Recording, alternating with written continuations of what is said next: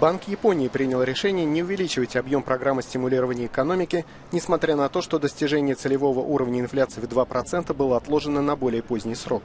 По мнению семерых из девяти членов правления японского Центробанка, причина для замедления инфляции внешняя, а именно падение цен на нефть, и поэтому экономика не нуждается в дополнительных стимулах.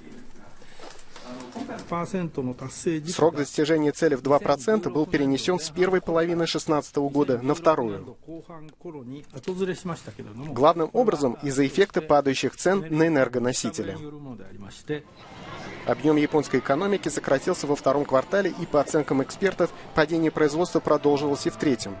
Основная причина – сокращение экспорта, в первую очередь из-за падения спроса в Китае – по словам главы Банка Японии, если негативные тенденции продолжатся, стимулирование будет расширено в начале следующего года.